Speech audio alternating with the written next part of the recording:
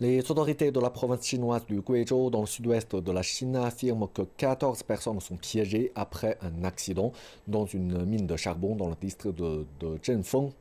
Une enquête préliminaire montre que l'accident est dû à l'effondrement du toit d'un puits de mine vendredi matin.